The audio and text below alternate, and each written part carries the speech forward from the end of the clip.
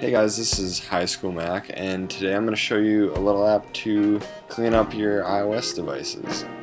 And basically what it does is just scans for all the junk files, cache files, and anything else that device does not need to function. So as you can see, I'm just scanning for all these files. It's looking through all my apps, and you do not need to be jailbroken to do this. By the way, the software is free, so Make sure you guys go check this out.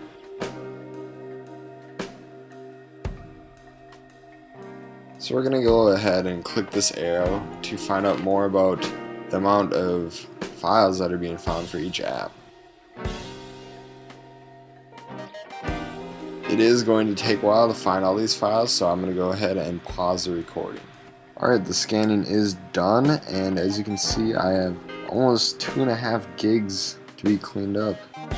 So we're going to go ahead and let this finish cleaning up. And thanks for watching, guys. This app is called PhoneClean. It's available on their website for free. So go ahead and check that out.